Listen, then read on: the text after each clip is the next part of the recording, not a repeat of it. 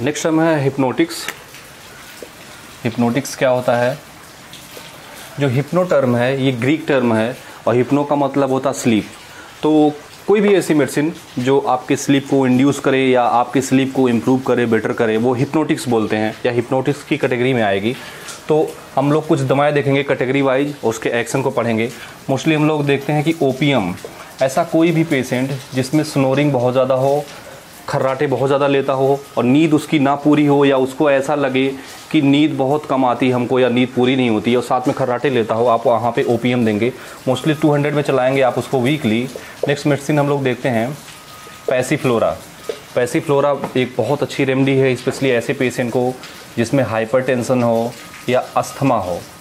और ऐसे पेशेंट जिसमें हाइपरटेंशन या अस्थमा हो और उनको नींद ना आती हो तो वहाँ पे हम लोग देखेंगे, अगर पैसी फ्लोरा देते हैं तो ये प्रॉब्लम भी सही होगी, उसका बीपी भी नॉर्मल होगा और साथ में उसको नींद भी बहुत अच्छी आएगी। एक मेडिसिन देखते हैं हम लोग पिसीडिया साथ में कालीफॉस दो ये ऐसी मेडिसिन हैं, इनको नींद नहीं आती मोस्टली स्ट्रेस एंड टेंशन की वजह से। स्ट्रेस एंड टेंशन इसकी वजह है जिसमें जिसकी वजह से इन दो मेडिसिन को नींद नहीं आती तो अगर आप ये मेडिसिन देते हैं, इनमें से कोई एक कालीफॉसी देते हैं तो ऐसे पेशेंट जिनको स्ट्रेस या टेंशन की वजह से नींद नहीं आती, उनको नींद अच्छी आती है। अगर किसी को अनरिफ्रेशिंग नींद आती है, या उसको नींद नहीं पूरी होती है, उसको सोने के बाद भी लगे कि नींद नहीं पूरी हुई, या वो बेहतर तरीके से नहीं सोया तो आप ऐसे पेशेंट को अल्फ़ा अल्फ़ा देंगे। अल्फ़ा अल्फ़ा देंगे। कोई भी ऐसा पेशेंट एवीना सटाइवा कोई ऐसा पेशेंट जिसकी सेक्सुअल एक्टिविटी बहुत ज़्यादा हो और उस एक्टिविटी की वजह से नींद ना आए तो वहाँ पे आप एवीना सटाइवा देखेंगे, देंगे। मोस्टली देखते हैं हम लोग कि avena sativa mostly old age की रेमडी है तो यहाँ पर उसका अच्छा एक्शन होता है। एलोपैथी में जनरली दो टर्म याद रखेंगे पैम जहाँ पे पैम जुड़ा हो एन क्वे नो लोन क्वेलोन जुड़ा हो क्वेलोन क्वेलोन जुड़ा हुआ, ये दो टर्म जहाँ पे जुड़े हो, पैम एंड क्वेलोन, लास्ट में, वो हिप्नोटिक के अंदर आते हैं, जैसे हम लोग देखते हैं डायजीपैम। डायजीपैम, सबसे जो कॉमन एलोपैथी में यूज़ की जाने वाली दवा है, नाइट्राजीपैम, डायाजीपैम, याद रखेंगे, सब में देखेंगे पैम जुड़ा होगा तो ये स्लीप को इंड्यूस करती हैं हिप्नोटिक ड्रग्स होती हैं। एक आता टर्म क्वेलोन क्वेलोन में आप देखेंगे मेक्लो, क्वेलोन, मेक्लो, क्वेलन, वो सारा हिप्नोटिक के अंदर ही आएगा, दूसरा आप देखेंगे मेथा क्वेलोन तो जहाँ पे भी क्लोन जुड़ा हो क्वेलोन जुड़ा हो या पैम जुड़ा हो, वो ऐसी दवाएँ इस कैटेगरी की होती हैं। वो आपकी स्लीप को इंड्यूस करेंगी, आपकी स्लीप को बेहतर करेंगी, आपको नींद अच्छी आएगी। तो देखेंगे साइलोगॉग साइलोगॉग पहले ही बताया था गॉग का मतलब होता है इंक्रीज या कोई चीज़ बढ़ जाना। साइलो का मतलब होता है सलाइवा ऐसी मेडिसिन या ऐसी चीज़ें जो सलाइवेशन को बढ़ा दें, वो साइलोगॉक कहलाती हैं। तो जो हम लोग मेडिसिन पढ़ेंगे, वो सलाइवेशन को कम करेगी, या उस मेडिसिन में वो सलाइवेशन बहुत ज़्यादा होगा। तो कोई भी मेडिसिन जिसमें सलाइवेशन बहुत ज़्यादा हो, उसको साइलोगॉक बोलते हैं। इसमें कुछ मेडिसिन हम लोग देखेंगे इपीकॉक इपीकॉक में कोई भी प्रॉब्लम आप देखेंगे तो उसके हर प्रॉब्लम के साथ उसका नॉजिएशन और उसका सलाइवेशन बहुत ज़्यादा हो जाना। तो नॉजिएशन प्लस सलाइवेशन ये दोनों चीज़ें बहुत ज़्यादा हो जाना। वहाँ पे इंडिकेट करती है इस रेमडी को इपीकॉक को। दूसरी मेडिसिन पढ़ते हैं हम लोग। मर्क्यूरियस। मर्क्यूरियस में भी सेम कंडीशन हम लोग देखें, उसमें भी क्या को होता है नॉर्मल सलाइवेशन बहुत ज़्यादा हो जाता है माउथ से, जैसे उसको अगर ओरल एप्थस होता है तो उसको सलाइवेशन बढ़ जाता है। तो ये मेडिसिन एज ए साइलोगॉक की तरह काम करती हैं। नेक्स्ट मेडिसिन हम लोग देखते हैं सेम चीज़ ऐसे ही होती है आयरिस वर्सिकोलर ये भी साइलोगॉक की तरह ही काम करती है।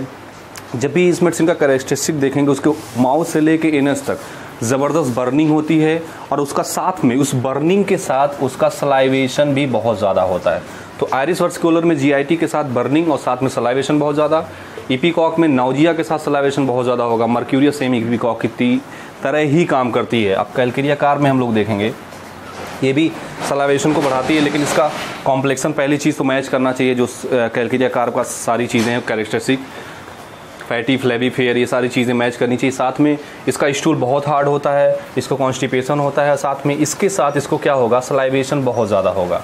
तो ऐसी मेडिसिन में आप देखेंगे, ये सब चीज़ें हम लोग देखते हैं। नेक्स्ट नेक्स्ट हम लोग जो टर्म पढ़ेंगे, वो इसी से रिलेटेड ही है और बहुत इंपॉर्टेंट ही है वेसिकैंड्स हम लोग पढ़ते हैं। ये स्किन से रिलेटेड टर्म है वेसिकैंड्स वेसिकल से बना है वेसी और कैंस फार्मेशन ठीक है? ऐसा कोई भी मेडिसिन जो वेसिकल के फॉर्मेशन को रोके, वो एंटी विसिकेंट्स मेडिसिन होती हैं, या विसिकेंट्स का मतलब वेसाइकिल का फॉर्मेशन आप जनरली देखते हैं, पानी से भरे हुए दाने निकल जाते हैं, सबसे ज़्यादा ये निकलते हैं बरसात में, या इन्फेक्शन की वजह से, जैसे जलने के बाद फपोले पड़ जाते हैं पानी से तो वो विसाइकिल होता है अगर पानी से भरे हुए दाने होते हैं। तो अब ऐसी कंडीशन में आप देखेंगे आरटी सबसे ज़्यादा यूज़ होने वाली मेडिसिन और सबसे ज़्यादा अगर किसी मेडिसिन का एक्शन है वेसिकल्स पे तो आपकी आरटी आती है। दूसरे नंबर पे आपकी मेडिसिन आती है, मेजेरियम। मेजेरियम में भी सेम चीज़ आप देखेंगे, आरटी की तरह स्किन पे ही जगह जगह पे फफोले पड़ जाते हैं, दाने निकल जाते हैं। तो वेस्कैंड की तरह ही काम करती है। तीसरी मेडिसिन आती है आपकी क्रोटॉन्टिग ये भी वेसाइकिल्स की बहुत अच्छी रेमडी है। सबसे पहले आप चूज़ करेंगे आरटी देन मेजेरियम। उसके बाद देन आती है क्रोटॉन्टिग नेक्स्ट स्टमक से आपके एसिड के सिक्रीशन को बढ़ा दे। एसिड के सिक्रीशन को बढ़ा दे। तो जनरली जो हम लोग मेडिसिन पढ़ते हैं, उसमें क्या होता है एसिड का सिक्रीशन ज़्यादा होता है, जिसकी वजह से उसके स्टमक में या जीआईटी में बर्निंग बहुत ज़्यादा होती है, पेट में जलन होगी कार्डियक रीजन में जलन होगी। तो आप देखेंगे आयरिस वर्सिकोलर जैसा कि हमने पहले ही बताया यहाँ पे कि आयरिस वर्सिकोलर बर्निंग इसका की नोट है माउस से लेके एनस तक। तो आयरिस वर्सिकोलर ऐसे कंडीशन में बहुत अच्छा काम करेगी, इस एसिड के सिक्रीशन को कम करेगी, जिसकी वजह से बर्निंग जो है ये कम होती है। नेक्स्ट हम लोग मेडिसिन देखते हैं टबैकम टबैकम भी स्टेमेटिक्स मेकिस की तरह काम करती है और ये भी इसके सिक्रीशन को कम करती है, जो भी पेट में जलन, ये सब चीज़ें होती हैं, इसको कम करेगी। नेक्स्ट मेडिसिन आती है कैमोमिला कैमोमिला में भी देखेंगे सेम चीज़ होती है एसिड के सिक्रीशन को कम करता है ये। तो आप तीन मेडिसिन याद रखेंगे iris versicolor tabacum and chamomilla जो एसिड के सिक्रीशन को कम करते हैं। तो एंटी स्टमिक है ये मेडिसिन ये दोनों चीज़ें हम लोग याद रखेंगे इसमें। देखिए, अगर आपके अंदर ये चीज़ है कि आप चीज़ों को यूज़ करना जानते हैं तो किसी मेडिसिन का अगर साइड इफ़ेक्ट है कॉन्स्टिपेशन तो उसी मेडिसिन को हम यूज़ कर सकते हैं उसके साइड इफ़ेक्ट को डायरिया में। अगर किसी को डायरिया बहुत ज़्यादा हो रहा है, उसी मेडिसिन का साइड इफ़ेक्ट हमको पता है कि उसका कॉन्स्टिपेशन है तो उस मेडिसिन को अगर हम देते हैं तो उसका डायरिया ठीक हो जाता है। अगर किसी मेडिसिन का साइड इफ़ेक्ट डायरिया है तो उसी मेडिसिन को हम कॉन्स्टिपेशन वाले पेशेंट में देते हैं, उसका कॉन्स्टिपेशन ठीक हो जाता है। तो ये हमारे पास ये आर्ट होना चाहिए कि हम किस मेडिसिन का किस तरह यूज़ कर सकते हैं। तो ये चीज़ें हो गई। नेक्स्ट हम लोग टर्न पढ़ेंगे। र्यूब्रीफेसियंट र्यूब्रीफेसियंट र्यूब्रीफेसियंट इसका ये मतलब होता है, कोई भी ऐसी मेडिसिन जो congestion and redness of the skin cause करे। स्किन की भी टर्म है, जहाँ पे आपको स्किन में कंजेशन दिखे। कंजेशन होगा तो आपको रेडनेस दिखेगा, ही दिखेगा। कंजेशन दिखे रेडनेस दिखे, वो रिब्रीफेसियंट होती है मेडिसिन